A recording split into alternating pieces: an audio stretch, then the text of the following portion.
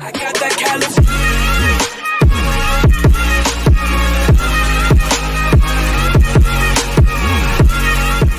Hey guys, what's up? Welcome back to a brand new video on the channel. Now today I'm actually going to be showing you how to make an admin game pass on your game and how to give yourself admin so you can actually have some commands that you can use on your game. So before we get started, you're going to need to get an admin model for your game. So I recommend going with Kohl's Admin Infinite. I will leave the link in the description. Once you go into the link, you click get this item. And once you get the item, you can go over into your game on Roblox Studio and we can set it up from there. Okay, now that we're in studio, it's actually pretty easy to put the admin to your game. There's no uh, scripting required. So all you need to do is actually click the toolbox and go over to my models over here and then click on Kohl's admin. Now as you can see, we'll have this logo over here. So you're going to actually hide it. I mean, it's going to be hidden in the game no matter what, but uh, you just need to put it there.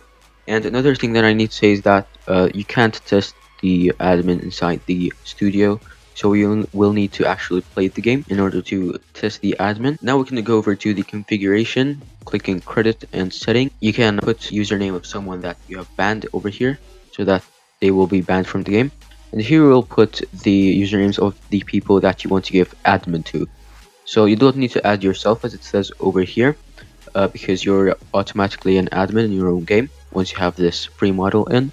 So apart from that, that's basically how you get admin. So if you go ahead and test it in the game, you'll have the admin. So now if you want to actually sell the admin, you need to go actually back to your place. Now you're going to find an image and create your admin game pass. Now once you create it, you're going to over to this wheel over here and click configure. You can put it on sale and name a price for it. I'm just going to make it 100 Robux for example and click save. Now you're going to get this ID over here. So you need to copy this from your URL go back into the settings page for the admin settings script. Now you're going to over to where it says VIP admin equals and then you're going to put in square brackets and put your ID inside the square brackets equals and whatever admin power you want to give them.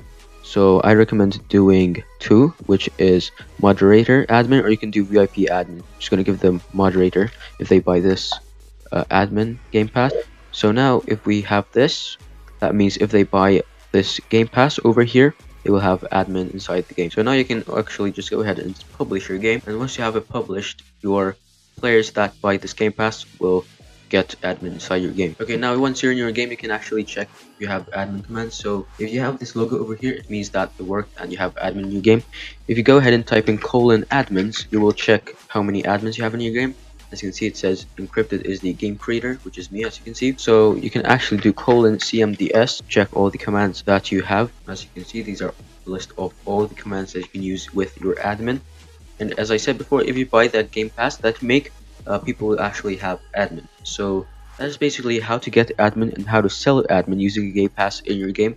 I hope you guys enjoyed and if you did please like this video and subscribe if you haven't already. Otherwise i'll see you guys later. Peace